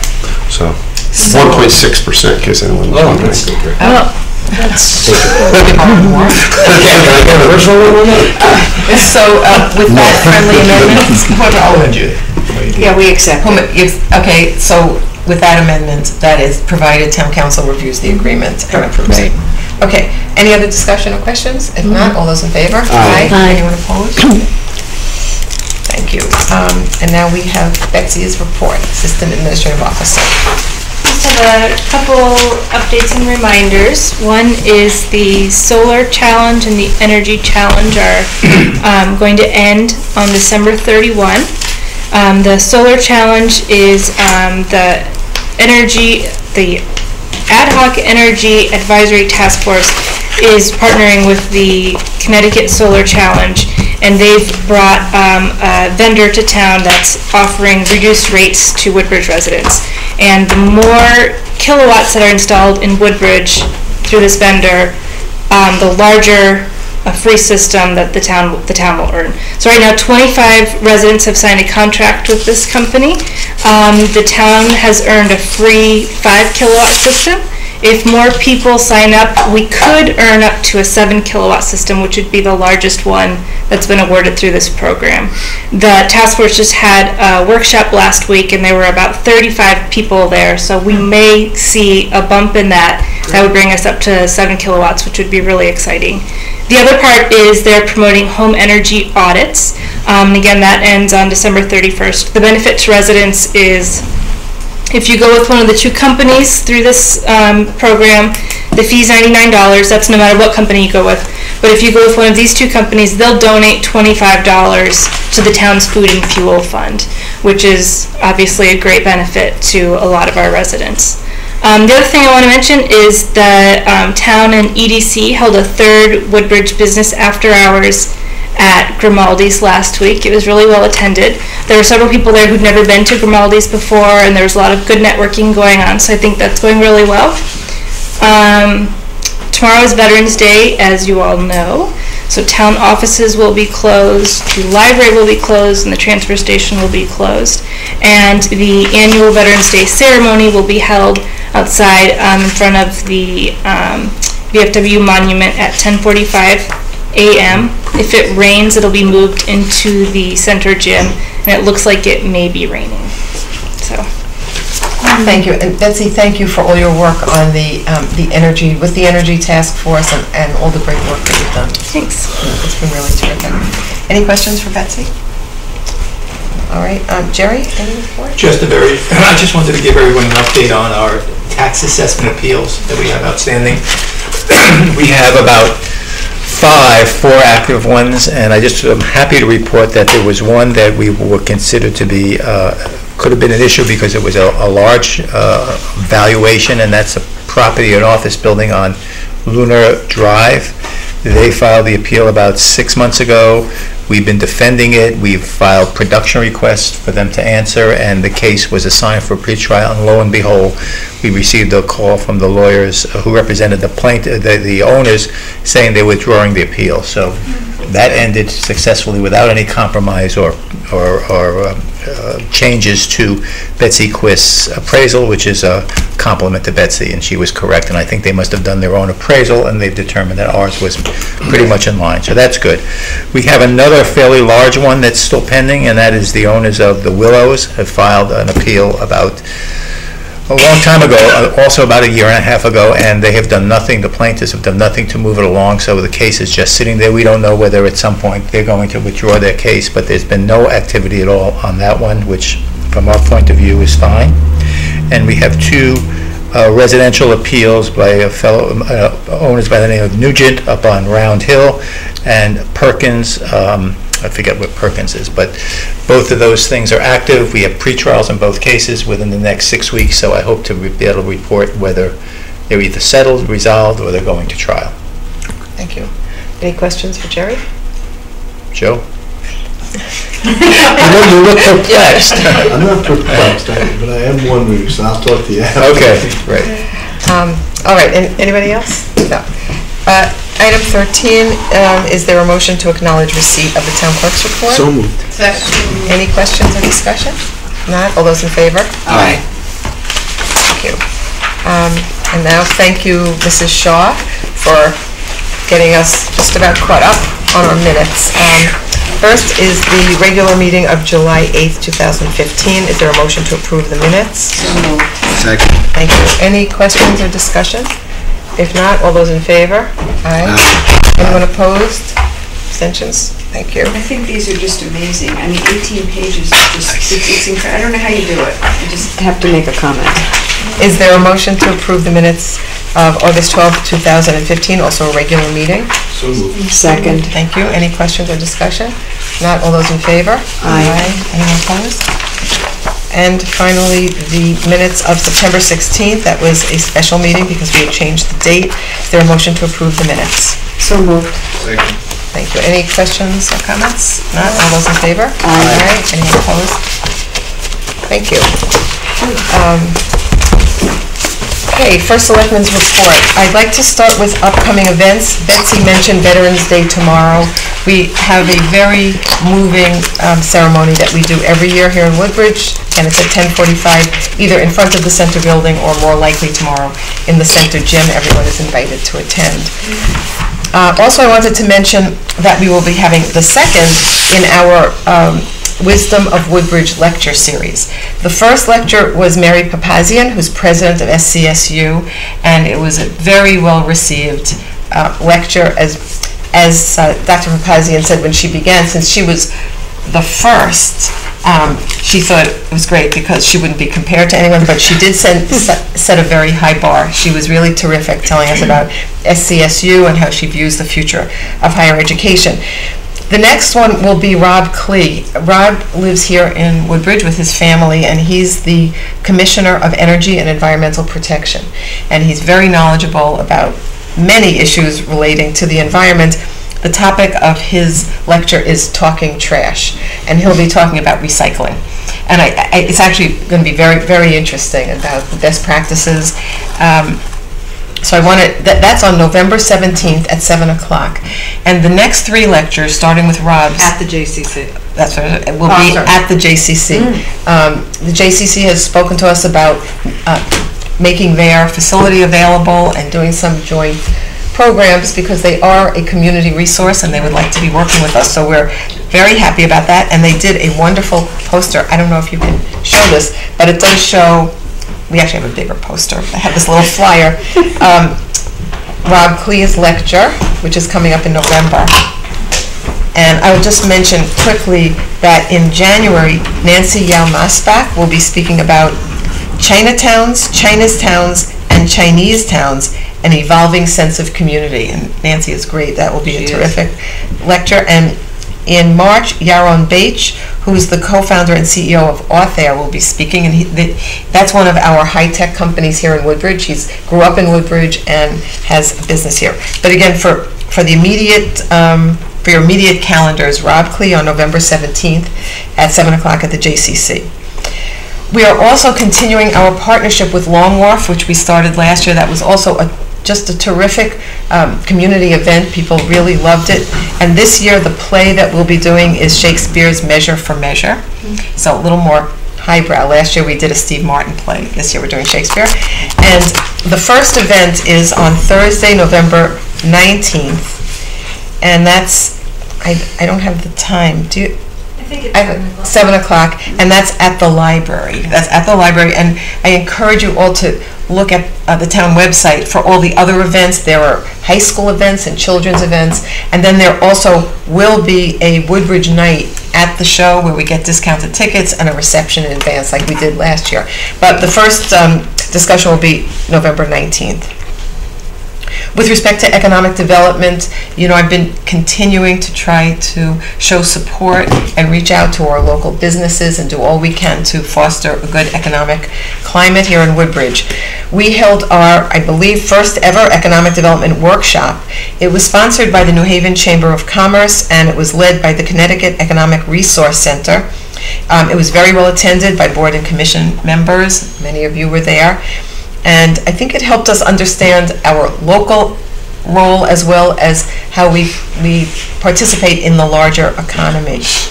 And one of the points that was made is that it's very important to focus on business retention even before we go to business recruitment. And uh, that was good to hear because we have been really trying to do that. The event was held at Oak Lane Country Club, and the food was provided by Birchwoods, which is the restaurant there. And They're closing for the winter, but again, that's a local business, and so it highlighted what they can do.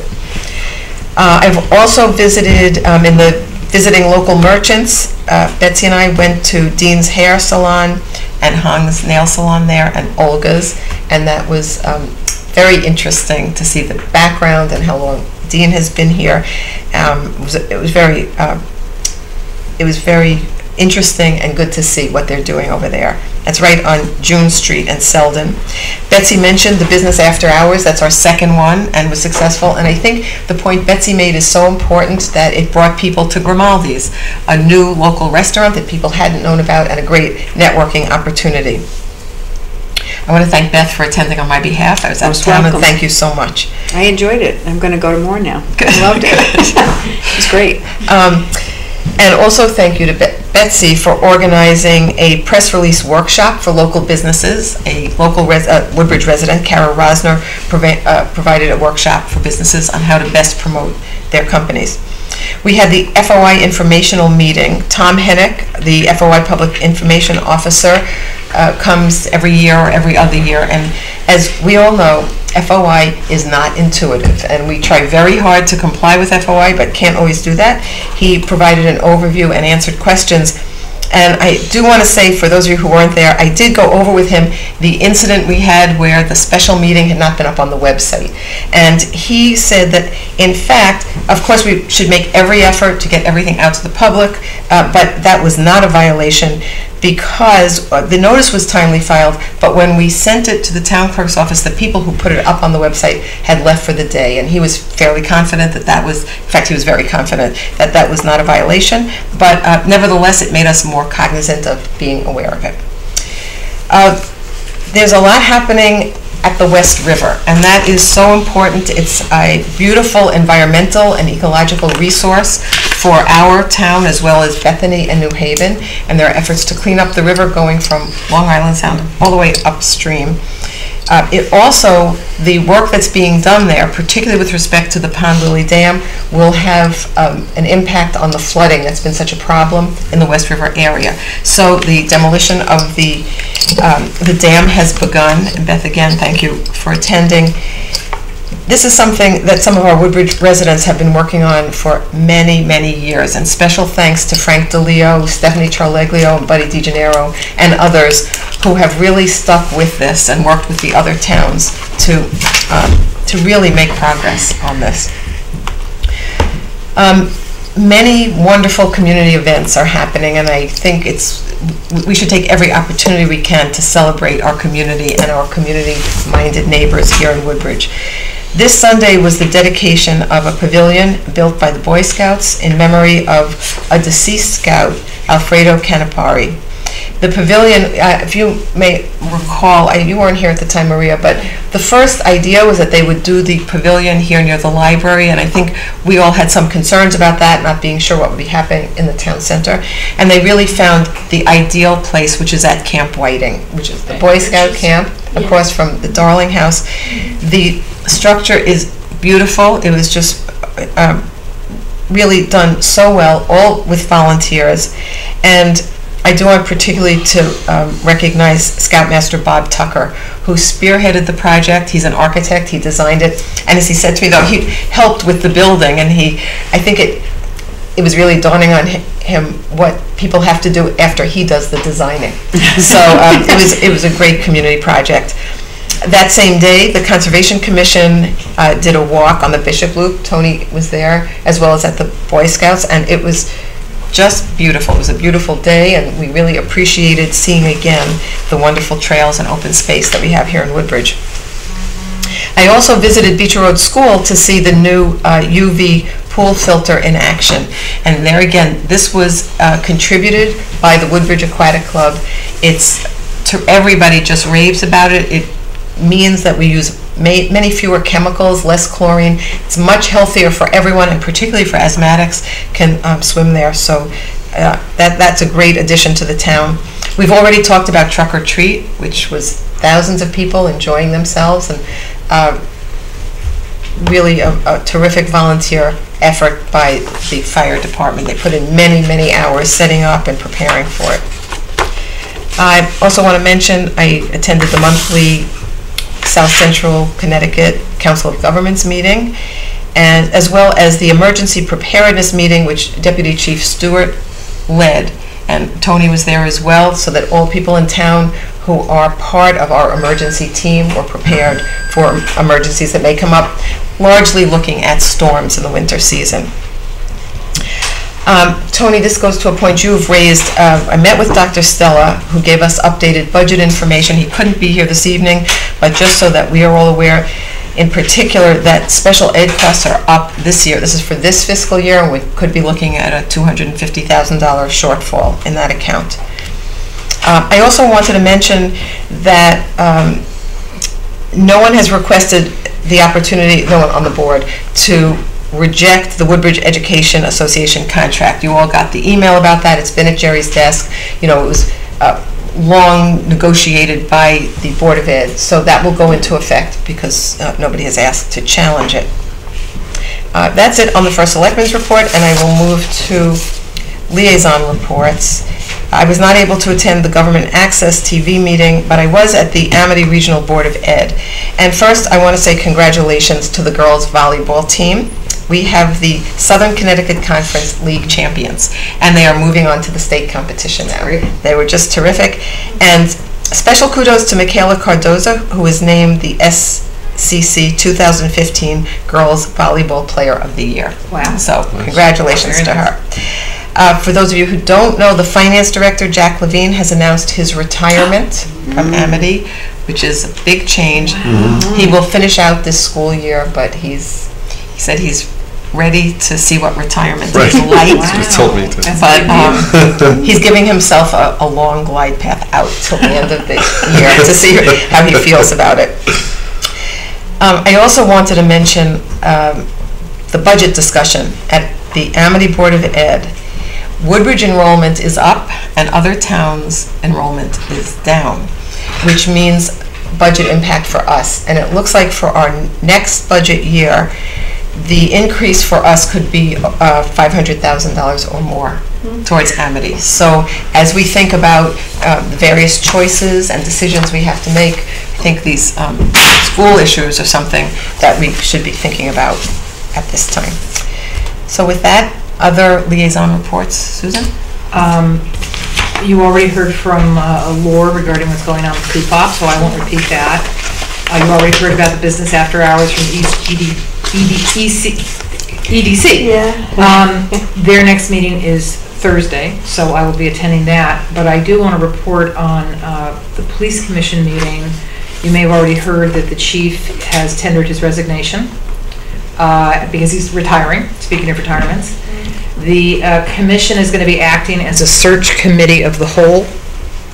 Um, uh, Applications are already coming in. I believe it's going to be officially posted in the next week or so, and I think his retirement is effective to- uh, January 4th, if I'm not mistaken.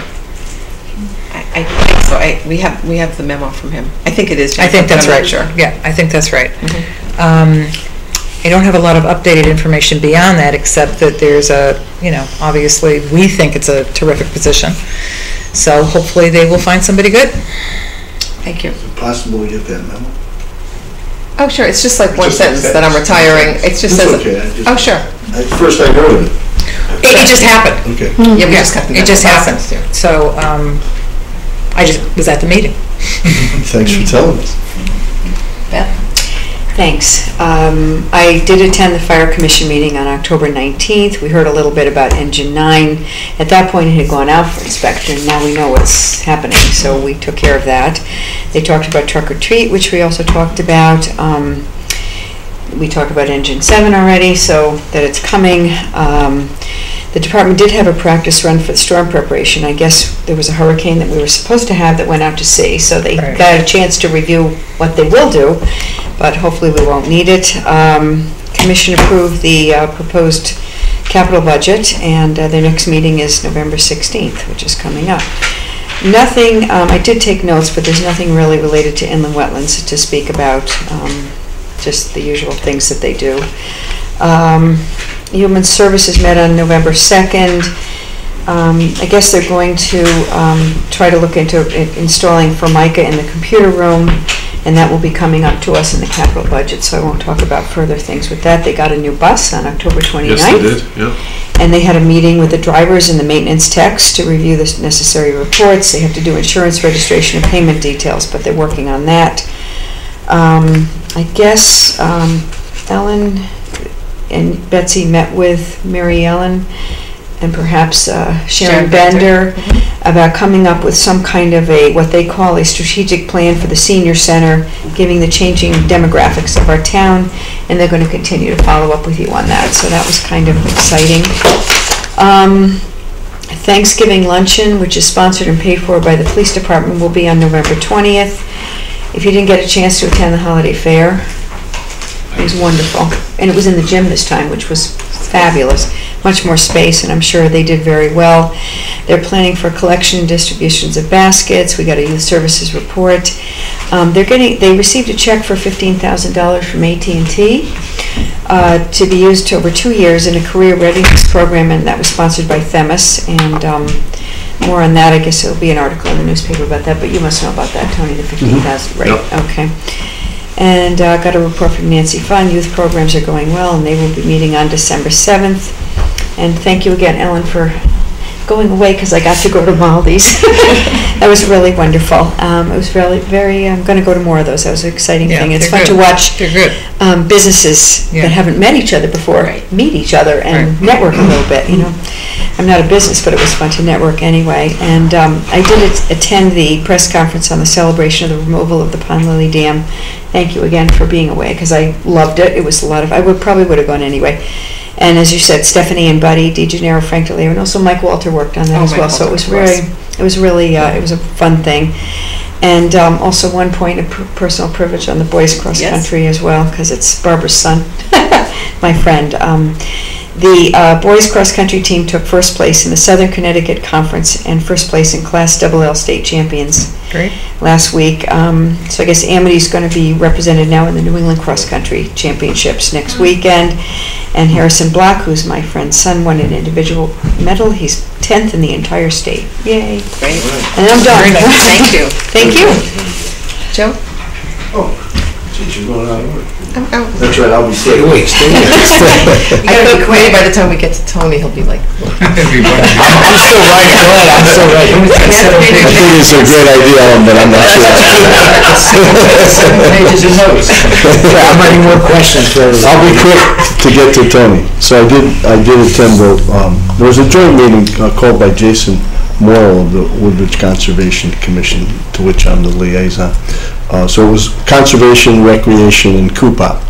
And, uh, you know, they all, they all came together and gave presentations. Uh, Some of us were there, I forget who all was Oh, there, but um, kind of, you know, what, what they do, what their responsibilities are and so forth, and, and how they can work together because they kind of mesh with the properties and all, and, uh, and, uh, you know, I think, it- I think it's great, and I think they're gonna do it at least once a year, if not more, to kind of keep that synergy going, so, so that's a good thing.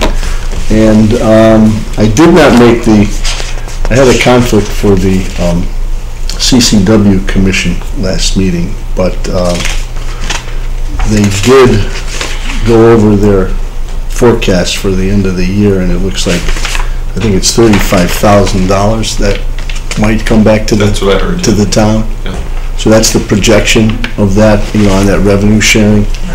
It seems like a, so- a- an up, an So, up figure, so, so that's good, but we'll wait to see what happens, and then, um, I think I misplaced it, but, oh, here it is. So, they're gonna come to us also with, with a, I don't know if they have, maybe they have, but, um, a request for some tree removal for thirty-five hundred dollars. That was discussed at the meeting. I don't know if they've come to us with that or not, certainly hasn't been to our meetings.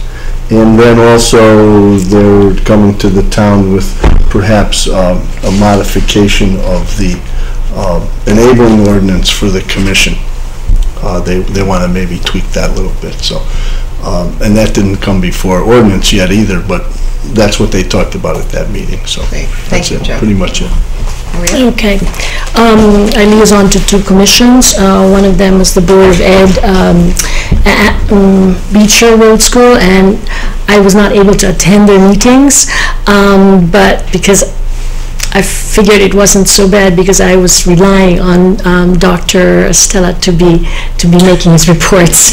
Um, uh, But anyway, um, I, I've, uh, I've attended something which was very admirable, I think, was, is that they're starting their budgeting, and I like the way they are putting forth their costs and their concerns and all that kind of stuff. I think it's something that the town should use as a model, actually.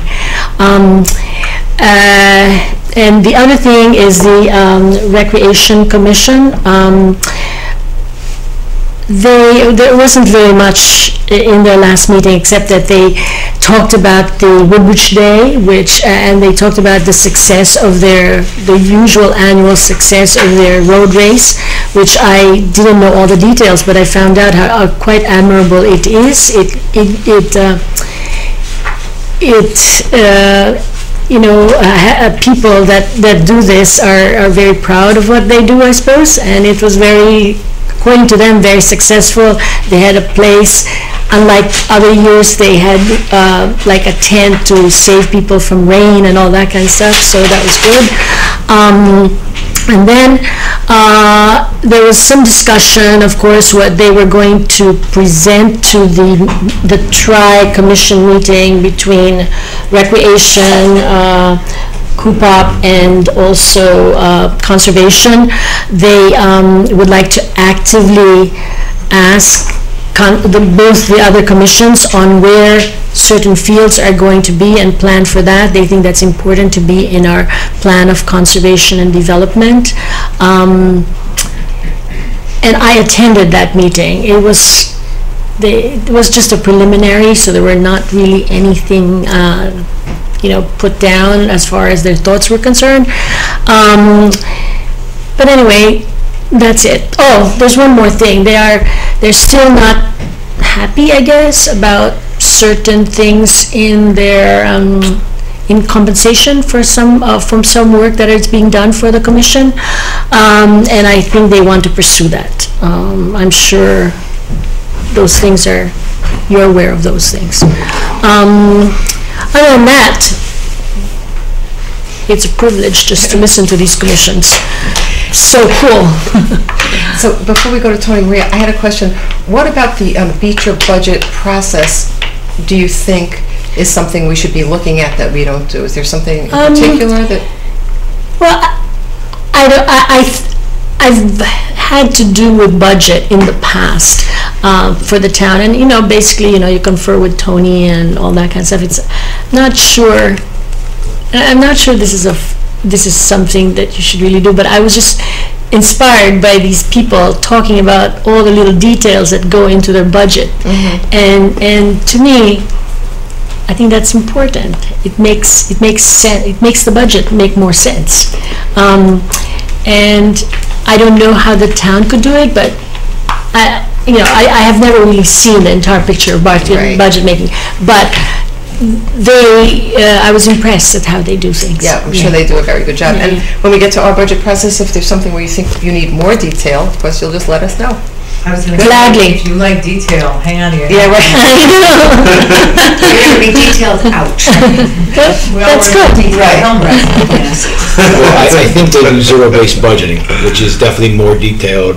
Yeah. Uh, Both, both the high school and Beecher do zero-based budgeting. Right. Which is definitely more detailed. It's- But I think Tony thinks we do just about the same. Is that right? We don't do everything, but nor do they. No, I don't think Try they to start do. that way. They don't do contractual matters as zero-based budgeting. So, and that's the biggest challenge. They challenge. can't do, they can't do the zoning Right. contracts, And you right? can- So that, that's that's not doing true zero-based But budgeting. they can do the, everything outside You would start from the ground up. Right. Small. Right. You know? That's the other Serious about it, they go into a lot of detail, if you go go to the high school budget, you'll see a lot of detail. I've sat through those many times. Okay, so. Anyway, I thought it was great. I do. Um, and before I do, I I didn't want to interrupt when Beth was speaking, but Tony, for next meeting, I'm just wondering if- if we can request, um, where we are on the grant for the human service for the senior center handicap bathroom, where we are with what's Sure. everything there. Just for Sure. next meeting, I forgot to ask earlier, sorry. Mm-hmm. Okay, um, the two commissions, um, the library commission, which met last night, uh, and will be holding their next meeting on the 30th as a special meeting of November, and their next regular scheduled meeting is the 14th of December. Uh, Budget so far is going well year-to-date. On November 19th, besides what Ellen had already mentioned, uh, there is the official grand opening of the Bookstore Alley, which is held upstairs, and I believe all books will be for sale for a dollar and two dollars, everything they offer, and so they're, they're excited about that. Um, There is a new vacancy. We have a uh, woman who uh, left the uh, Children's Services, uh, she's the assistant there. So there's been internal posting already, and there will be a special meeting on the 30th for that purpose. They hope to have a candidate by then that they can recommend to us for our December meeting.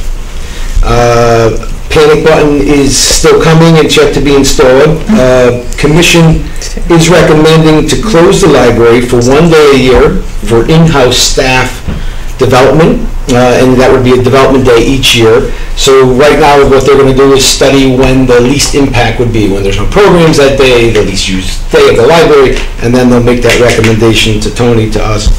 Uh, December 10th was the day that Ellen referred to is the Woodbridge Night at Long Wharf Theater, and it is $15 off each Woodbridge resident's ticket, as well as a reception to be had. And as Ellen said, it's Shakespeare's Measure for Measure. Um, And the last thing is they're hoping to replace the upstairs children department's carpet, and that will be uh, requested in our, in our capital budget for next year. Now the longer one. TP&Z uh, held a very long meeting on the 2nd of November. It went between three and a half and four hours. Uh, Their next meeting is December 7th. And it started with Bruce Hyde, who's from UConn Center for Land Use Education. He spoke of how they could provide assistance to TP&Z in the next few months on how to better plan for low-impact development practices, taking a look at some of the zoning and and the uh, implication, im- implications they have right now currently in Lower Woodbridge, and there is some mixed zoning there, and there's some different uh, areas of, uh, maybe there's a way to make it more uniformed, and uh, so they're going to be looking at that as well as uh, other issues in town that maybe what our current regulations are, and they're doing it all for free. And they hope to have some recommendations for TP&Z by February. Um, There were two public hearings. One was for Dia- uh, 19 Diana Drive, where a new development is being sought for a single-family home. John Paul Garcia made the presentation. Uh, Bob Criscola, who was here, also spoke to certain waivers that were being requested. The commission uh, ended up in their work session approving with some special conditions uh, as, that they were still looking for, but it was approved. Um, However, the second public hearing, which was 110 Luciani Street, as you all may know, uh, there's been an ongoing issue with a a development that had been started and they, their permit ran out time-wise in September. So the uh, attorney for the construction company, Visio Construction, uh, was there to file for a new application and a new permit uh, to go back to the development. Um, Many people came from town to speak uh, anywhere from an attorney representing one of the uh, next-door neighbors to uh, one of our local real estate agents who has the listings of the people across the street, um, and having a very difficult time, or what she said is an impossible time right now, to get people to come to an open house or come look. Uh, Basically, the new application is being asked for with uh, many changes from the original uh, application, especially involving the retaining walls and the drainage, and um, the homeowners from that area are not happy about that. They're also going to be asking for blasting, which could take anywhere from one to three weeks, according to their attorney, um, or additional hammering, which would take even longer. So what happened is TP&Z ended up keeping the hearing open until next month because they've requested to hear from both the blasting company or potential and from the geo study that was supposedly done, but they don't really have a very detailed report and they're waiting to hear from those people about if it's even conceivable to change retaining walls and that type of thing. So the, the hearing will be um, taken back up in December, and other than that, that's really it. Thank Stay you. tuned. Thank you. Is there a motion to adjourn? So moved. Second. Second, all those in favor? Aye. Thank you, everyone.